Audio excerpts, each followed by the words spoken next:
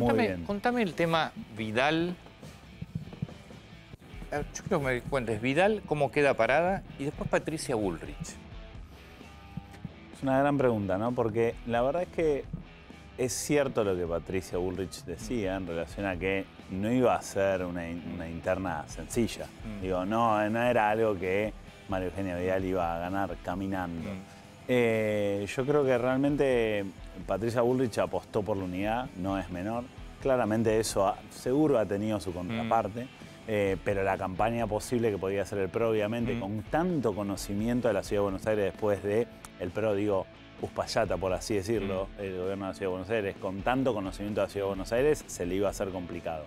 Me parece que Vidal tiene un desafío, eh, va, va a ser una excelente elección. La pregunta del millón es, ¿qué va a pasar con eh, los halcones? Que, Bueno, yo, cre- yo creo que para mí Bullrich ganó. Para mí queda, queda bien parada Patricia Bullrich. Ah, también tenés que pensar, Antonio, de que hay una parte de que nosotros miramos mucho el mundo redes. Y la verdad es que lo- lo- los halcones, por así decirlo, hacen mucho más ruido que las palomas. Y en ese mundo redes hay una parte muy fuerte que grita. Entonces uno dice, hay, hay mucha sensación a partir de eso. Que son alcoholes y palomas, porque uno lo dice Eh, como si la perdón, gente... perdón. pero- Eh, hay, hay una, Sí. hay, hay un planteo de que los halcones son el ala más dura del PRO, Bullrich, Iglesias, Guado, etc. Y las palomas son aquellos que eh, son más... que que tienen que apuntan- convivir. apuntan a la conversación dentro del PRO, los Larreta, los, los Vidal, etc. A mí me parece igual que también tenés- estás en una escena donde hay mucha desconfianza en la política. De hecho, cuando vos mirás sobre las personas, le preguntás a los que votaron eh, el- en la del 19, le decís, ¿vos te sentís representado? Ya 35, por el partido, ¿eh? Mm. 35% te dice que no, de, por nadie. Eh, y lo mismo pasa en el frente de todos en el PRO, solo la mitad de aquellos que los votaron se siente representado. Entonces, hay una crisis de representación Mm. que cada vez se agudiza más, no aparece nada en el medio. Entonces, Vidal está más abierta. La verdad que igual otro camino no tenía Horacio Rodríguez Larreta porque Diego Santilli, si no, no tenía futuro en la ciudad de Buenos Aires. Esta es la verdad y no había reemplazo. Entonces, ay, yo creo que la discusión hacia No, adelante... Santilli ya no tiene más alternativa. No tiene más alternativa, no puede serlo, Claro. pero la discusión para adelante es qué tono va a tener el PRO de acá adelante. Creo que eso es parte. Ahora, Patricia Bullrich se bajó, pero muy fortalecida. Pero habrá que esperar qué pasa en provincia de Buenos Aires o no. Porque Definitivamente. Todavía eso no está cerrado. Todavía no está cerrado, claramente la, la- la salida de Manes eh, todavía deja una, una incógnita, o sea, Diego Santilli todavía no pronunció su candidatura públicamente, Eh, en- entiendo que no debería haber nada que suceda que lo detenga eso, porque Pero la tenés verdad un tercero que es Jorge Macri también. es cierto que también tiene que definir dónde juega, y así como Y a Gustavo Joaquín- Pose. también está está Pose en la interna que, que la sostiene este fin de semana. Emilio Monzó, Joaquín de la Torre, o sea, son todos actores que están jugando a ver qué es lo que sucede en una interna que no deja en claro para dónde va a ir en estos momentos. ¿Qué pasa si gana Manes la interna? Porque pareciera que interna va a terminar. Es difícil pensar que se puedan poner de acuerdo. Es difícil pensar que se puedan poner de acuerdo, básicamente porque también el radicalismo va a ir por mucho Y- después de pero eso. es lógico. Es lógico. Aparte es lógico después de ver, yo creo que no, no hay que mirar la foto sino la película, ¿no? El radicalismo fue una parte importantísima en que Mauricio Macri sea presidente, importantísima. Sin embargo, en el gobierno no fue un actor importantísimo. También es cierto que el, el primero que se bajó de todo gobierno fue Ernesto Sanz. Ernesto Sanz, Él exactamente. solo se bajó. ¿eh? Es cierto, algunas cosas deben haber pasado para que eso suceda, pero digo, radicalismo no tuvo participación. Entonces, más, no estoy hablando de sed de venganza, pero la verdad es que cuando uno mira la foto de ese radicalismo, uno lo mira a Martín Lustó, a Abad, lo mira a Manes y detrás un Morales, un Sanz, un Cornejo, no es la foto que estamos acostumbrados de los últimos 20 años de radicalismo, es una foto nueva, hay que ver cuánto empujón tiene. Creo que ahí igualmente... Pero, ¿Y si gana Manes? Y va a ser una, una incógnita interesante qué es lo que vaya a pasar. ¿eh? Bueno, pero eso es lo que dice el PRO también. Si nosotros no unimos fuerzas entre Santilli y Jorge Macri, ¿cómo vamos a disputar una interna contra el radicalismo? Porque ahí sí el, el, eh, en- el enfrentamiento UCR-PRO es la interna eh, que le hace bien a la alianza, evidentemente. Definitivamente. Quizás la interna PRO-PRO no.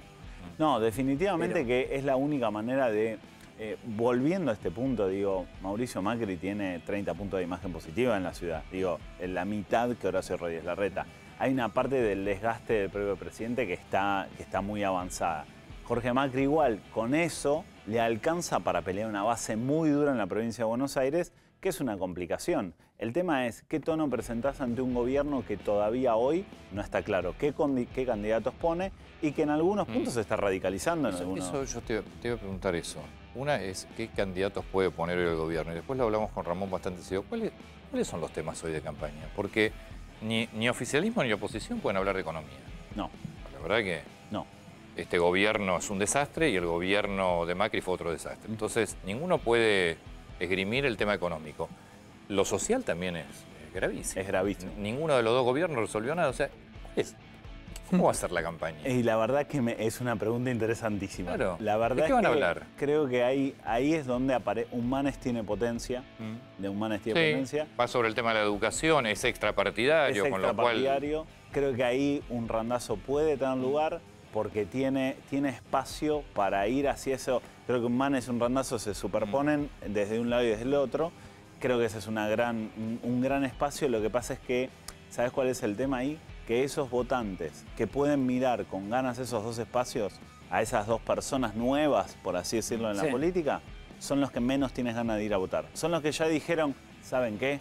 mátense. Yo mm. sigo mi vida todos los días, la peleo con mi familia, mis amigos, y ustedes hagan lo que quieran. Y son los que mejor representan la ruptura entre la sociedad y la política. Entonces, vos pensá esto. Cuando le preguntamos ahora si creen que la democracia es el mejor sistema, digo, mirando lo que pasa en Cuba, ¿no? Te aparece que 8 de cada 10 te dicen que sí. Ahora vos decís, ¿crees que la, democracia está bien implementada por los políticos argentinos? 8 de cada 10 te dice que no. Pero que está bien. claro que sí, claro que está bien. Lo que pasa es que uno puede empezar a pensar que con esta escena la gente ya se hartó del No, no se hartó de los políticos. Es este el sistema mal implementado. Mal implementado, exactamente. Implementalo bien. Implementalo bien. Yo creo que la campaña, eh, la verdad es que es muy difícil de entender, digo, yendo a los candidatos posibles del frente de todo. Suena una Tolosa Paz, suena un Insaurralde, sonó en algún momento una Roberta, digo, creo que hay mucho. En ninguno de los casos, quizás Incerralde tiene mucho más conocimiento, pero digo, también falta conocimiento, digo, de la gente respecto a las personas. Y la vacuna no es una, una trae votos. Digo, eso lo venimos diciendo hace bastante. No, pero por eso te digo, economía no, social no. La vacuna no alcanza. No alcanza, no, no, no. alcanza. Lo que te puede alcanzar sí es el efecto selección. Digo, lo que pasó el, fin de semana. no, no, no, espera, espera que te lo explico. Espera que digo a qué voy.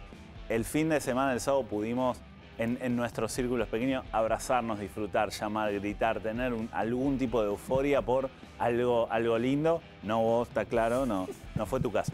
Pero digo, lo que sí pasa ahí es que quizás la vacunación nos haga bajar, si avanza, nos haga bajar eh, las restricciones y uno puede encontrarse con sus abuelos, sus padres, sus amigos, y eso puede generar un buen clima. Igual dado las, decisiones del fin de semana de restricción del dólar y cómo se encamina la economía, no veo como un oxígeno que uno diga, che, la escena está buenísima para que la gente empiece a tener confianza.